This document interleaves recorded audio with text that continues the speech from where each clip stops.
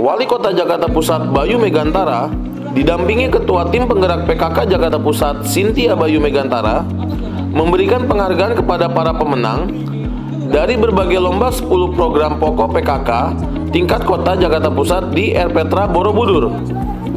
Menurut Bayu, para pengurus Air Petra bisa ikut andil dalam kegiatan ini merupakan hal yang sangat bagus.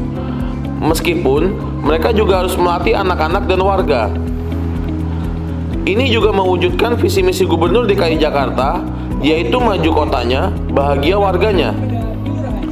Lanjut Bayu, para pengurus PKK yang sudah berusia 47 tahun, supaya terus berkiprah dan bersinergi dengan pemerintah secara optimal, sehingga hasilnya dapat bermanfaat untuk masyarakat.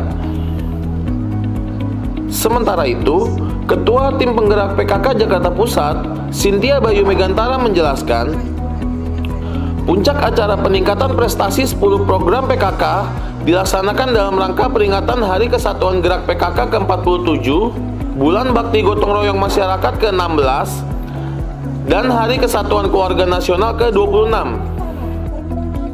Tim Kominfotik Jakarta Pusat mengabarkan.